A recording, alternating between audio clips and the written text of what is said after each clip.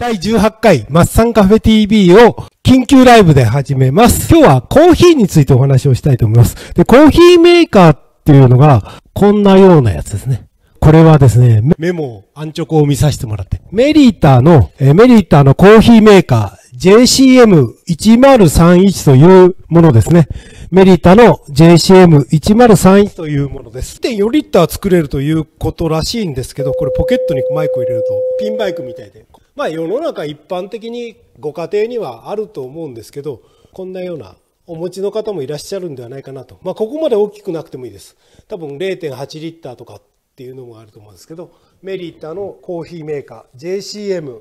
1031というのを今日は使わせていただきます。これで美味しいコーヒー入れられるのということをチャレンジしたいと思います。中澤もですね、普段家ではこのコーヒーメーカー使ったりしてます。もうちょっと小ぶりのやつですけどね。使ったりしておりますので、決してハンドドリップでこんなことやんなくてもいいです。今日はもうそういう設備、コーヒーに関する器具が全くなくても、美味しいコーヒーが飲めるよということを伝えしたいなと思います。これからクリスマスシーズンで皆さん美味しいケーキとかで一生懸命探すんですけど、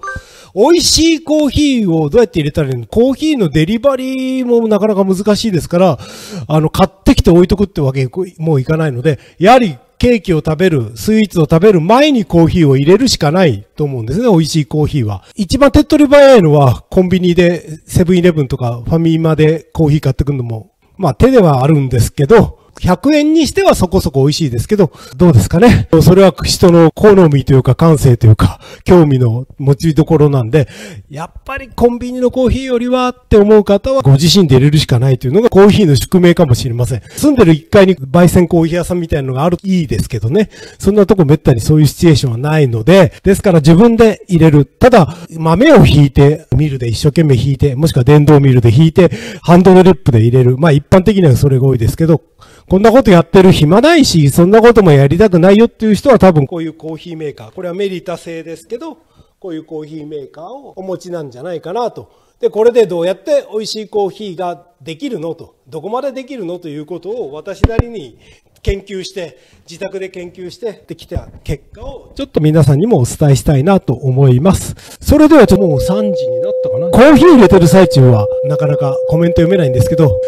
今日じゃあかっこよくやりますので、清水もこみち風にやりたいなと思っております。スタートしましょうね。今顔が見えなくなりましたけど、中澤ここにいます。ということでやりましょう。とまずですね、お湯、当然お湯は必要なんで、お湯を沸かしときました。もう一回再沸騰しますね。温度設定を90度くらいで。あの、最近はあれですよね。こういうような魔法瓶、湯沸かし器は、温度設定ができるコーヒーの温度とか90度ぐらいとかってできるものもあるようなんで、まあそういうものをお持ちの方は90度で、今これ設定ができるので90度設定でお湯を沸かしております。当然必要なのは、こういう測りあれば嬉しいなーって、ちょっとだけ高いですけど、これコーヒーのためだけにではなく肉とかも測れますから、多分家庭でご料理やられる主婦の方とかはお持ちだと思うんですけど、こういう測りはあった方がいいですね。1000円ちょっとぐらいで。アマゾンとか安いところでも買えば、多分ニトリとかで買えば1000円くらいで買えるのかなと思いますけど、測りはちょっとあった方がいいと思います。先ほど言ったようにこのコーヒーメーカーですね。これは必要ですね。コーヒー入れるのに。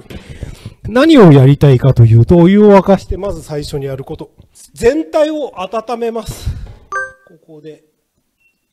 すべてを温め、今、お湯が沸きましたということなんですけど、何を温めるかということ、まず一番最初にやることは、この中ですね、今ちょっとこれもうお湯入れちゃったんですけど、この中ですね、ここ、もう今お湯入ってますけど、ここにお湯を半分ぐらいで、全部お湯だと多分沸騰しすぎちゃってダメなんで、半分ぐらい、半分よりちょっと少なめぐらいお湯を入れて、まず温めておきます。それから実際にスタートするときに必要なコーヒーを抽出する量の水を入れます。今度水を入れます。お湯ではなく水を入れます。それでぬるませるという形をとってください。この中ですね、この中。よくこういう蓋があって、この中にお水入れるんですけど、今日は 850cc、850cc を入れております。それからもう一つ温めるもの、このフィルターですね、これ、これ、これ、これ、これですね。フィルターを温めます。それと当然コップ、飲むコップですね、紙カップ。今日は紙カップですけど、ちゃんとしたマグカップならマグカップを温めてください。カップですね。それからフィルターを濡らしながら、フィルターをセットして、フィルターを濡らしながらお湯を入れて落とすという感じですね。これ全てお湯で温めます。今日使うのは、普段はケトルという、こういうケトル、わかります？こういうケトルね。先がゾウさんの鼻みたいになってのがあると最高なんですけど、そんなのもないよっていう方が当然いらっしゃると思うので、あの、今日は紙カップでやります。紙カップのケトル代わりです。これは昨年私が入院してた時に編み出した紙カップケトルという技なんですけど、はい、ケトルがなかったんで、入院中は。ですから紙カップケトルというので、ずっとコーヒーをドリップしてました。当然豆引く機械も持ってなかったんでドリップはカップオンドリップというこの上にポーンとセッティングしてやるやつですね。それをかみさんに買ってきてもらってっていう形です。このこれこの魔法瓶これも温めてください。できれば。できればというかこれもできればじゃない。絶対。温めてください。あのそうしないと熱いコーヒーがこの中に入ってきても全然美味しくないのでこれもお湯でしばらく温めてください。フィルターで落とした時にここの中にも落ちますからお湯が。それと一緒にプラスしてお湯をちょっと入れてあとは捨てて。ただいまメンテナンス中です。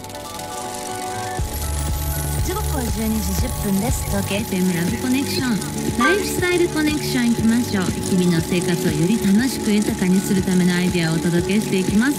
慌ただしい年末を過ごしている皆さんほっと一息コーヒー飲むのいかがです。かとっても希少なスペシャルティーコーヒー芸者のお話をお届けします。この世界初の専門店が東京日比谷にできたんですね。今日は芸者コーヒー専門店株式会社ゲシャリーコーヒー富樫和樹さんをお迎えしましたよろしくお願いします。よろしくお願いします。ゲシャリーコーヒー。こちら先ほどもご紹介したように世界初の芸者コーヒー専門店として先月オープンされたんですよねこの銀座ソニーパークスタジオからも5分ぐらいで到着するんです。よ、ね、今日は5分かけて来ていただきましてありがとうございます、はい、芸者ってどんなコーヒーなんですか？はい、えー、芸者っていうのはコーヒーの品種でしてもともとエチオピアのゲシャ村っていうところが発祥と言われてます。まあ、芸者がなまって芸者になったっていうところ日本の芸者関係ない。はい全く関係ございません。なるほどそういうことなんですね。だってスペシャルティーコーヒーってコーヒー好きの方々はきっとねよくご存知のフレーズかもしれませんけどもどういう、はい、最近よく世の中で聞くと思うんですけども、まあ、あのスペシャルティーコーヒー協会っていうのがあって、まあ、その基準に沿って、うん、まあ、あの評価をして味の評価をして80点以上のあのクオリティかつ、うん、あのまあ、どこの誰が作ってるっていう、まあ、トレーサビリティもしっかりしてるっていうのがあのスペシャルティーコーヒーのなるほどね。いろんなさ確定しているルールよりも上のできるやつっていうことですね。まあ、最近あの果物とかだとあの、うん、誰が作ったとかあの分かるようになってると思うんですけど、うん、そういう感覚に近いです。なるほどね。スペシャルティーコーヒーってコーヒーの全体の中からどのぐらいの割合であるんですか？とまああのおおよそ大体5%から10%程度って言われてます。じゃあ非常にやっぱ貴重なコーヒーなんですね。で芸者芸者の特徴ってどんな感じですか？はいとっても上品で華やかな香りと、うん、まあ、フルーツのような甘みを伴った、まあ、素晴らしい産出のあのコーヒーだとへえで富樫さん先ほどこれ入れてきてくださったんですか、はい、あのお店でちょっと入れてきた芸者なんでぜひお飲みくださいませ。あ嬉しい。嬉しい。世界の5%から10%の希少なスペシャルティーコーヒーゲイシャです。あもう今ちょっと香ってみたんですけど香りからして全然違いますね。スパイシーだったりあーなんかウッディでもあり。ただいまメンテナンス中です。フルーツにしてはシトラスというよりはなんかベリーとか濃い感じの。そうですね。まあこれ赤い果物を感じさせるような、まあ、匂いがするようなコーヒーですね。あ全然違う。ちょちょっといただいてみますね。ああ飲んだことない。ありがとうございますこと富樫さんこれなんて言えばいいの？コーヒーソムリエとして。コーヒーじゃないぐらいの感覚で思っていた。コーヒーじゃないかも。コーヒーじゃないと思っていただけたら嬉しいですね。これクリスマスに飲みたい。この間この芸者コーヒーいただきながら。これコーヒーじゃないっていうのも変なんですけど本当に飲んだことがない味ですねりがとうございます。なんだこれ。よくほらコーヒーって言うと苦味とか酸味で表現したりしますけど違いますね。そうですね。やっぱこの芸者は、まあ、苦全く苦くなく、ん。あのまあ、酸味が特徴って言われるんですけども、うんうん。ただ酸っぱい酸味ではなくじゃない。あのフルーツのように甘みを伴ったり、まあ、質感があったりっていうところで本当にまあどちらかというと紅茶に近くてずっと飲み続けられるようなコーヒーになってます紅茶にしてもですよそのいわゆるティーリーフの味ではなくていろんなフルーツティーを作った時のあの豊かな香りというかなんか何層にもなってやって攻めてくる。で暑い時と、まあ、冷めてからどっちも感じ方変わると思うんで暑い時に飲みつつまた冷めてからも、まあ、飲んでその違いっていうのもぜひ楽しんでいただきたいなと思ってます。今クリスマスソング聴きながらだったからかもしれないんですけど例えばもみの木とかあのクリスマスリースだったりとかああいうものも赤いフルーツがちょっとついてたりするじゃないですか。はい赤いフルーツっていうかねまあリンゴだったりいろんなチェリーだったりとかすると思うんですけどんあのイメージ的には寒い暖炉の前でいろんな恵みをありがとう地球土ありがとうって言いながら飲むにはバッチリだからこうギフトにいいんじゃないかなと思ったんですけどこれってドリップバッグみたいなのありますか？そうですねあの店舗の方ではドリップバッグっていうのを売ってまして、うんまあ、店舗で飲むコーヒーだけじゃなくお家に帰っても簡単に入れられるようなあの、まあ、キットがありますんでそちらでぜひ家でも芸者を楽しんでもらいたいなと思ってますごめんなさい。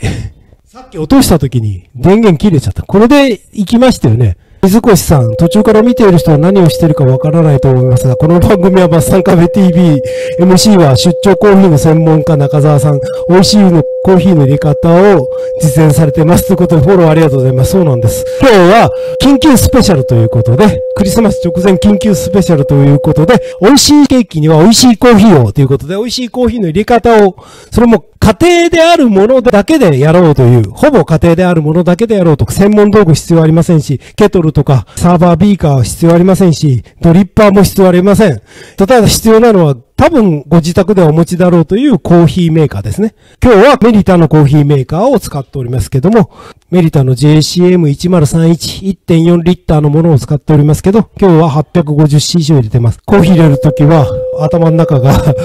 一つのことしか考えられないので、マルチタスクにはならないので、ワンタスクなので。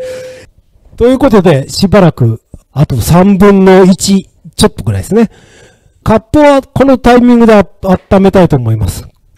プを温める。コーヒーカップもですね、マグカップでもいいんです。とにかく必ずお湯でこうやって湯がいて温めてください。これはもう沸騰のお湯で、コーヒー入れる時の温度ではなくていいんで、沸騰しちゃっていいんですけど、どちらでもコーヒー入れる温度でも十分温まりますので、今日は先ほどもずっとお伝えしてますけど、コーヒーメーカー、多分ご自宅でお持ちだと思うこういうようなコーヒーメーカーを使っての美味しいコーヒーの入れ方を皆さんにお伝えしております。これだったら多分ご自宅でお持ちだと思うんですよね。大体ファミリーの方は、家庭の方は、私も自宅でこれで入れたりしてますので、決してこれが邪道な世界ではないので、これで美味しいコーヒーが入れるのは十分に、セブンイレブンのコーヒーとか、ファミマのコーヒーよりはいいと思います。これをお湯で湯がいたらお湯を捨てます。ということで、もうあとは出来上がりの待機待ちなんですよね。もう一度おさらいしますけど、必要なものとしては、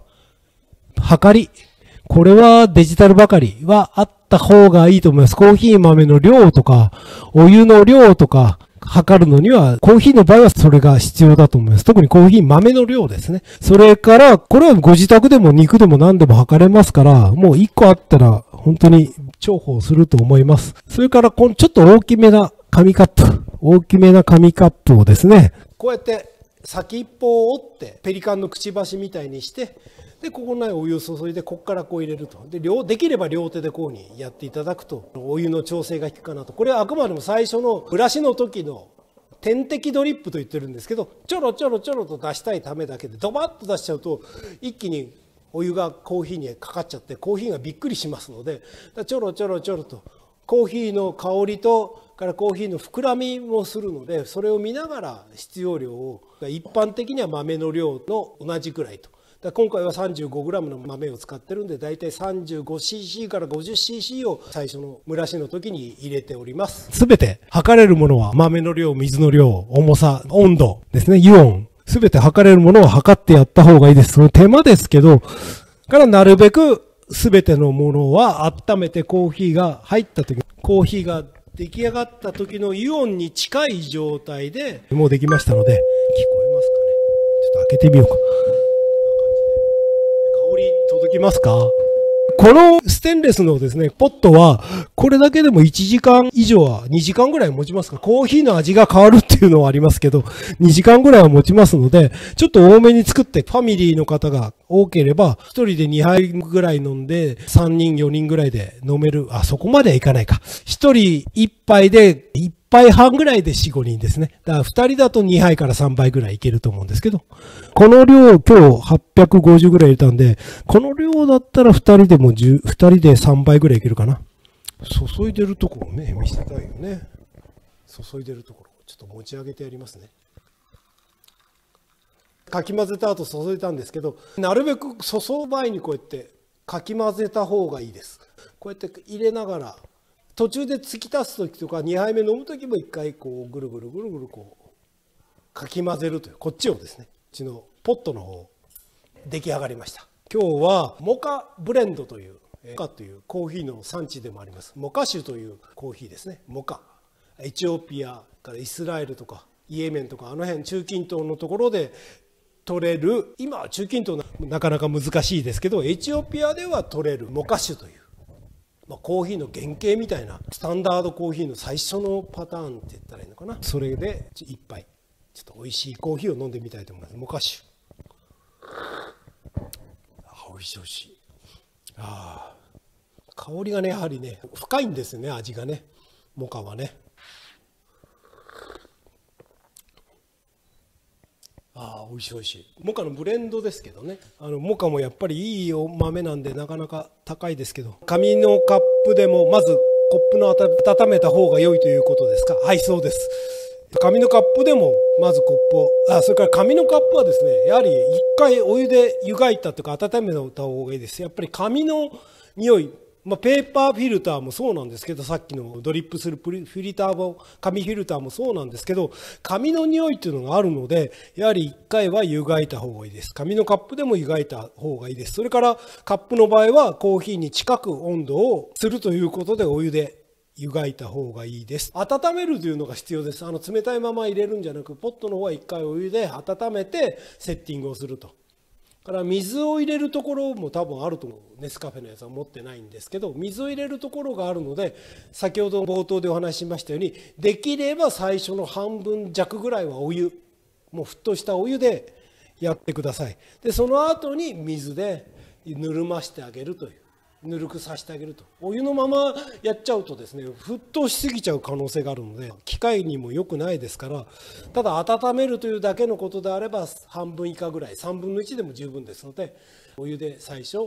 水を入れるところは温めてあげてください。とにかく温められるところは全部温めるというふうに思っていただけるといいと思います、まあ、こんな感じで今日配信したんですが皆さんいかがでしたか？ということで次回もう12月なんで次回次回次回ですね。次回は私のマッサンカフェ TV これは普通の対談形式になります。夜7時からなります。見えますかね？12月27日もう年も迫ること3日4日前ぐらいの。12月27日金曜日19時からマッサンカフェ TV これ普通の対談形式で行いますので普通の対談形式の番組です、まあ、なるべく時間通りに終わりたいと思いますが年末ですので1時間ぐらいを予定して、え、今回は新間さんという新間武彦さんというちょっと面白い方なんですけどまたね紹介をしますけど理科の先生です。高校の理科の先生ですけど新間さんということでプロレスファンなら新間という姓を聞いてビビッとくる人はいると思うんですが、はい、それはまた当日開けてびっくりの話で神馬という聖画を聞くとプロレスファンならえっ？と思う人が多分いらっしゃると思います今日のこのライブでご覧になっていただいている方はプロレスファンいないかな。まあいいや。ということで12月27日マッサンカフェ TV 第19回で今年2019年終わりになります。第19回マッサンカフェ TV12 月27日金曜日19時からスタート。たしますのでよろしくお願いいたします。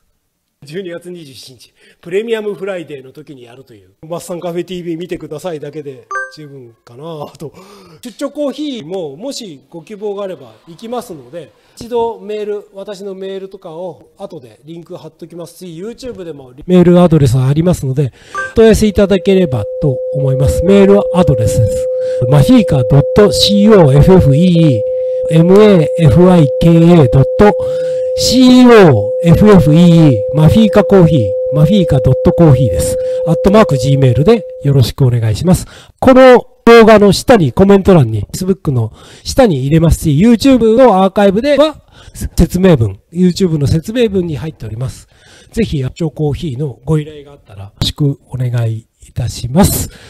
来年はですね、マッサンカフェ TV をもうちょっと上手にやりたいなっていうか、うまく回していきたいなと思うのと、ゲストの方も幅広く呼びたいなということと、から私自身他のこういう FLTV、インターネットテレビをやられてる方の番組に行って、コーヒーを入れたいなとも思ってるので、1月は米谷さんのところ決まってますし、2月は竹内美希さんのところに出ます。で、3月、4月、5月と、そんな感じで、一月に一遍ぐらいはどちらかの番組にお邪魔をさせていただければなと思っておりますので、配信30分経ちまして、いろいろと見ていただきましてありがとうございます。素敵なコーヒーで素敵なクリスマスをお迎えください。美味しいケーキには、絶対に美味しいコーヒーですから、ご自身で入れて、男性だったらご奥さんのために、女性だったら旦那さんのために、もしくはお子さんのために、素敵なコーヒーを入れてあげてください。では、メリークリスマス。素敵なクリスマスをコーヒーでお楽しみください。ということで、メリークリスマス。お別れです。ありがとうございました。